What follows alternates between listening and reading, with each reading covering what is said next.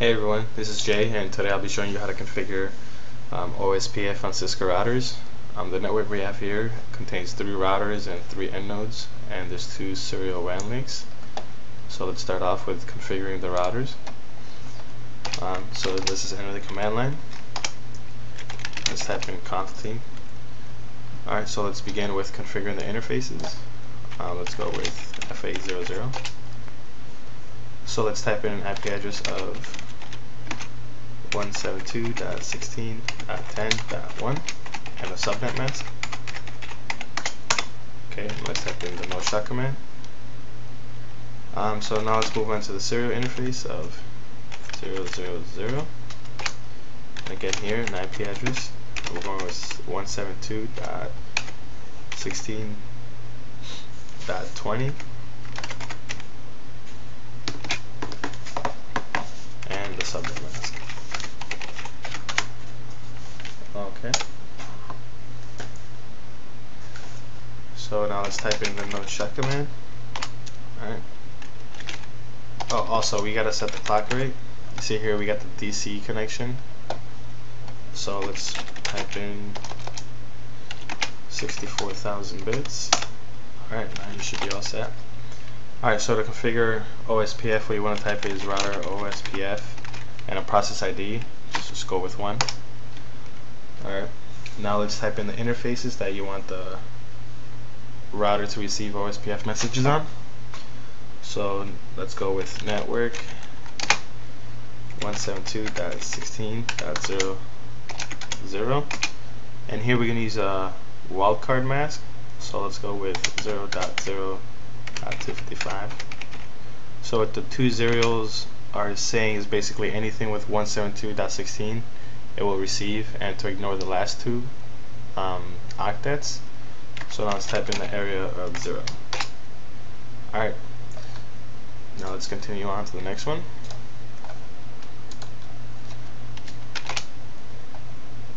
Okay. So basically the same thing here. Alright, let's go with FA00. Alright, let's set an IP address of 172.16.30.1 and then no shut command. Alright, now let's go to the serial interface of 010 and let's set the IP address of 172.16.20.2 and then no shut command. Okay, let's go to let's go to this interface, and that's serial zero zero zero. Okay. Uh, let's go the IP address here of 172.16.40.1. Okay, and the no shut command. And again here we have to set the clock rate. Okay, now let's exit. Alright, so now let's go to configure OSPF. One. Now let's type in network 172.16.0.0 and again a wildcard mask. Oh, sorry. You want to type in area 1?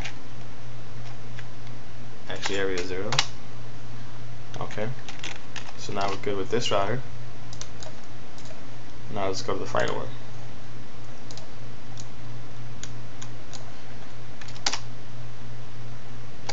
Alright. So again, let's configuration terminal.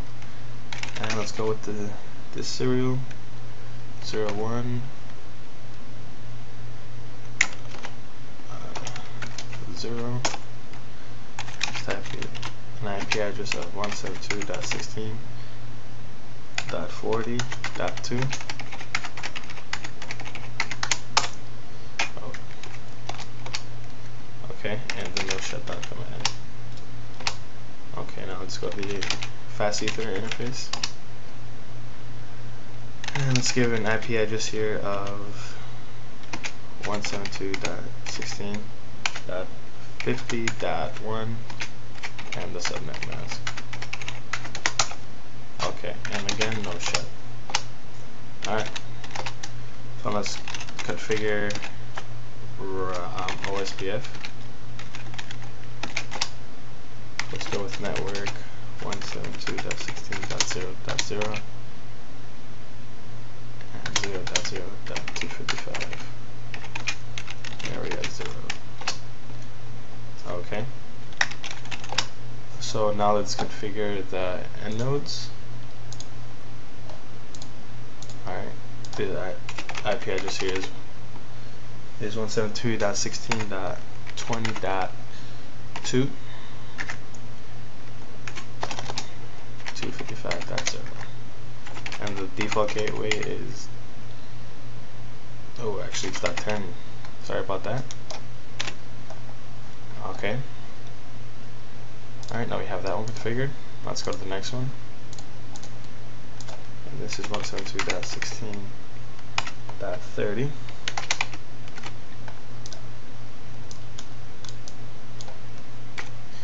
255 and 172.16.30.1 alright now let's go to the final one. And here we have 172.16.50.2 255 and 172.16.50.1 okay so now we um, configured all the routers with OSPF so now to test it out we're going to ping these two machines right here from this one. So let's open up the command prompt and ping 172.16.30.2 alright let's see if this works Alright, sweet. Now, um, now we have connection to this computer over here. So now let's ping this one right here. Let's go with ping 172.16.50.2.